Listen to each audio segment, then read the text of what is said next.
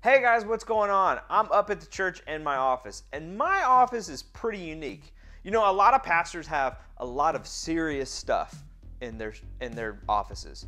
But I have some serious stuff, but I also have my comic book Funko Pop collection. If you know anything about me, you know I love superheroes. I love DC, I love Batman, but I have a real love for Marvel. And one of my favorites is Spider-Man. You'll notice on my shelf I've got the Avengers up top, I've got villains on the second row, and then I've got my Spider-Man collection. I have more Spider-Man Funko Pops than any others. And the reason is because I like Peter Parker and Miles Morales. You know, the whole deal with Spider-Man is that he's a friendly neighborhood Spider-Man. Spider-Man didn't save the world too many times. But what he did was he protected his community, he protected his friends, he protected his family and the people who were right around him. And you know what? We love superheroes because we would love to be a hero ourselves. And you know what? You have a great opportunity to do that. There are people all around you that could use your help.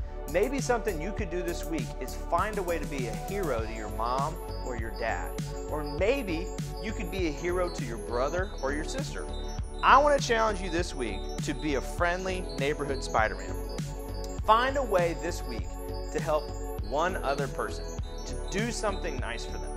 And don't ask for a thank you, don't ask for anything in return, but be a hero. And you know what the thing is about Peter Parker and Miles Morales is that nobody knew that they were the hero. Nobody knew that they were Spider-Man and they did all, all the things that they did without any thanks, without any appreciation.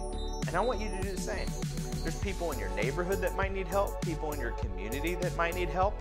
You guys are some of the most creative and imaginative people on this earth. And you have a great opportunity to be a hero to somebody else. So I would encourage you to do that. This week, you get to go out and you get to be Spider-Man. So go out there and make us all proud.